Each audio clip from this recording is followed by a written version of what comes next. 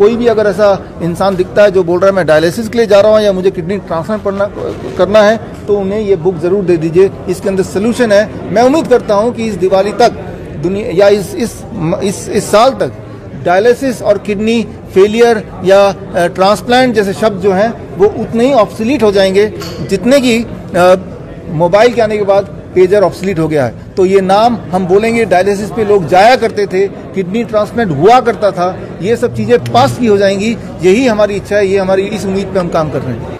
अगर आप डॉक्टर के पास जाते हैं और डॉक्टर बोलता है कि आपको डायलिसिस के लिए जाना पड़ेगा, जैसे ही वो बोले तो आपको क्या करना है? आपको ईंट उठा लेना है। एक नहीं, छह ईंट उठाना है, छह। और छह ईंट उठा के आपको वही करना जो हमारे पेशेंट करते हैं। आप देखिए यहाँ पे, ये जो छह ईट तीन ईट इधर, तीन ईट उधर।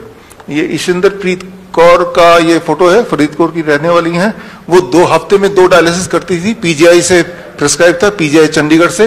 तो परेशान होकर फिर वो हमारे पास आई तो वो डीआईपी डाइट जो आपको ऑलरेडी पता है प्लस हमने उनको बोला कि आप छह ईंट कहीं से भी ले लो जो मुफ़्त में मिलता है, और अपने पलंग के ऊपर नीचे लगा लो जिस तरह से ये है। एंड सबसे इंपॉर्टेंट बात जब आप छह ईंट इस तरह से लगाएँगे दैट कॉजेज डायलिसिस डायलिसिस शुरू हो जाएगा बॉडी की राइट आप में से जो लोग ऑनलाइन मुझे देख रहे हैं जो लोग अभी यहाँ पे प्रेजेंट है उनको तो बुक की कॉपी मिली जाएगी। जो लोग ऑनलाइन देख रहे हैं तो ऑनलाइन आप यहाँ पे Biswaroop dot com slash three sixty degree में जाएँगे तो ये बुक की हिंदी इंग्लिश की कॉपी आपको ई बुक मिल जाएगा। सो so, इस लॉन्च के साथ ebook is accessible to you through this website right Biswaroop dot com slash three sixty degree तो यहाँ पे साइंस आप पढ़ सकते हैं, लेकिन अब थोड़ी डिटेल में जाऊँगा कि ऐसा क्या होगा कि भाई उनकी डायलिसिस शुरू हो जाएगी। इसको समझाना बहुत ही आसान है। याद कीजिए, आज से करीब 20 साल पहले 30 साल पहले जो लोग हमारी उम्र के हैं, मेरी उम्र करीब 50 साल है, अगले कुछ साल में हो जाएगी। तो जो हमारे उम्र के लोग हैं, उनको याद होगा, बजाज चेतक हुआ करता था और जब पेट्रोल खत्म हो जाता था तो हम क्या करते थे, उसको थोड़ा टिल्ट कर लेते थे। ये जो टिल्ट आप देख रहे हैं, ये टिल्ट हुआ तो वो फिर चलने लगता था। वो क्या हुआ?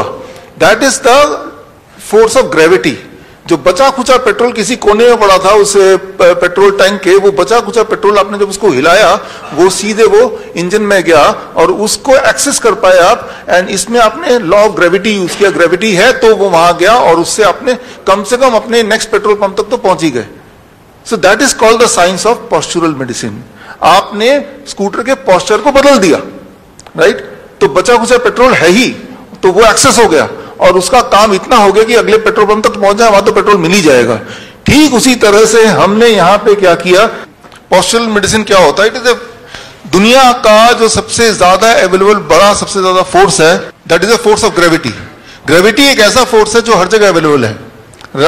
रेगिस्तान में मिल जाएगा, जंगल में मिल जाएगा, समुद्र के बीच में मिल जाएगा, अमीर को मिल जाएगा, गरीब को मिल जाएगा, वो कभी खत्म नहीं होने वाला। तो आप देखिए अगर किसी भी इंसान की बॉडी को हम 10 डिग्री पे ऐसे टिल्ट करते जैसे अभी देखा आपने इसमें टिल्ट करते ही क्या होता है कि उनके बॉडी में ब्लड सर्कुलेशन कुछ इस तरह से ब्लड हाँ, पैर से पेट की तरफ़ ऊपर की तरफ़ आने लगता है। और इससे बॉडी में कुछ बदलाव आते हैं कुछ तरह के केमिकल्स हार्मोन्स कम होने लगते हैं कुछ तरह के और केमिकल्स बढ़ने लगते हैं। As a result of that body का ब्लड प्रेशर कम होने लगता है। As a result of that body का यूरिन आउटपुट बढ़ने लगता है. As a result of that body का जो excess sodium excess potassium excess urea creatinine clearance ये सब बढ़ने लगता है. और इन्हीं चीज़ों को बोलते हैं डायलिसिस डायलिसिस यही होता है. एक बात आप याद रखिए अच्छी तरह से, किसी का किडनी कितने ही फेल हो जाए, उसमें फिर भी कुछ किडनी सेल ज़िंदा है, तभी आप ज़िंदा हैं. वो बचे कुचे किडनी को पकड़ के उससे काम निकालना है. किडनी सेल तक ब्लड नहीं पहुँच पा रहा तो हमने ब्लड किडनी सेल तक पहुँचा दिया. पेट्रोल स्कूटर के इंजन तक नहीं पहुँच पा रहा तो आपने उसको टिल्ट करके पहुँचा दिया। तो आपने ये किया। ये कोई नई बात नहीं है। हमारे जो नाइस एक्सपर्ट्स हैं, आप सब लोग जो लोग मुझे देख रहे हैं यूट्यूब में, आपने पिछले एक साल में देखा ना प्रोन वेंटिलेशन जिसे बोलते हैं? जब भी किसी का ब्रेथलेसनेस कम हो रहा था तो आपने क्या किया? आपने उस पेशेंट ऑक्सीजन एसपीओ टू जिनका 40 परसेंट तक चला गया। वो सिलेंडर ऑक्सीजन सिलेंडर लगा के वो, तब भी वो सांस उसका कंट्रोल में नहीं आ रहा। वेंटिलेटर लगाने की बात चल रही है। तो आपने सिर्फ़ क्या किया? You use unknowingly postural medicine आपने उस पेशेंट को लिया 180 डिग्री पे घुमा दिया लाइक like दिस 180 डिग्री पे, यानी कि प्रोन वेंटिलेशन जिसे बोलते हैं, यानी कि पेट के बल उसे लिटा दिया। लिटाते क्या हुआ? आपने देखा विद इन 15 मिनट्स के अंदर उसका एसपीओ लेवल बढ़ने लगा बढ़ने लगा बढ़ने लगा। Within few hours it came to 90 percent तो जो वेंटिलेटर को जो दिखाते हैं, आप देखिए यहाँ पे स्क्रीन पे, कि मॉडर्न मेडिसिन ये वेंटिलेटर बोलता है right this is a ventilator modern medicine का, और आपको मैं बोल रहा हूँ पॉस्चुरल मेडिसिन पॉस्चुरल मेडिसिन दुनिया का सबसे नया साइंस बोल सकते हैं, क्योंकि आपको पता नहीं है एक्चुअली दुनिया का सबसे पुराना साइंस है। जब तक, जब से लॉ ऑफ़ ग्रेविटी है, यानी कि जब से दुनिया है, तब से ये साइंस है राइट तो आपने उस इंसान को वेंटिलेटर पर रखने की जगह, हमारे जो कोविड सेंटर्स थे, अहमदनगर में या जयपुर में, हमारे राजा मुकीम जी जयपुर से यहाँ पे हैं राइट इनके कोविड सेंटर में क्या करते थे राइट आप क्या करते थे? उस इंसान को आपने उठा के उसको वो बोलता था मुझे ऑक्सीजन चाहिए ऑक्सीजन चाहिए अभी ऑक्सीजन मिलेगा ऑक्सीजन बहुत सारा है यहाँ पे अभी देते हैं। तो उनको सिर्फ़ 180 डिग्री पे जैसे उनको लिटाया लाइक दिस ऐसा आपने देखा ये को, ये कोविड सेंटर है this is Ahmednagar Covid centre. ऐसे लेटते ही वही वाला काम हो, हो रहा है जो उसको चाहिए। उसके बॉडी में ऑक्सीजन एयर आने लगा। एंड क्यों? क्योंकि जब इस तरह से लेटते हैं तो heart is down lungs is ऊपर तो लंग्स पे हार्ट का ग्रेविटेशनल फोर्स नहीं है। तो लंग्स की कैपेसिटी 20 परसेंट बढ़ गई है।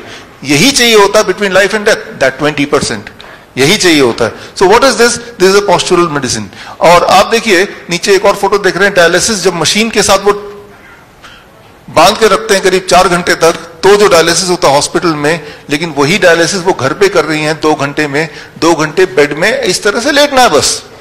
राइट जो कि मुफ़्त में हो सकता है। तो आज के बाद, आज नेशनल यूनिटी डे है, अगर कोई भी इंसान डायलिसिस के लिए जा रहा है तो वो आपकी कमी, आपने उसको बताया नहीं है कि डायलिसिस में जाएँगे, अभी डॉक्टर अवधेश पांडे बताएँगे, हर दिन आपका किडनी फर्दर डैमेज होगा, जबकि आप ये करेंगे जो मैंने अभी बताया, हर दिन आपका किडनी फर्दर इंप्रूव होगा। और एक दिन आएगा, जब आपको ये भी करने की आवश्यकता नहीं पड़ेगी। जैसा हमारे पेशेंट के साथ होता है। तो मैं यहाँ पे ये बताना चाह रहा हूँ कि आप के पास एक ताकत, एक पावर है that is the power of gravity the force of gravity the greatest force इस पावर को मैनिपुलेट करके आप बहुत सारी, बल्कि सारी की सारी बीमारियाँ फास्टेस्ट तरीके से faster than allopathy and safer than Ayurveda cheaper than homeopath and easier than naturopath इससे सस्ता कुछ नहीं हो सकता राइट सिर्फ़ आपको ये काम करना आपको दो चीज़ खरीदने हैं जो कहीं से मिल जाएगा। मैंने तो खरीद के रखा हुआ है, आपको दिखा दूँ। You just have to buy two things दो चीज़ ले लो, आप अपने घर में रखो सबके सब वन दिस कॉल्ड इंक्लाइनोमीटर ये, जैसे मैंने आपको बताया ना टेन डिग्री पे इंक्लाइन होना है। टेन डिग्री पे इंक्लाइन होना है, लेकिन टेन डिग्री कैसे पता चलेगा बेड में कितने ईट लगाने हैं?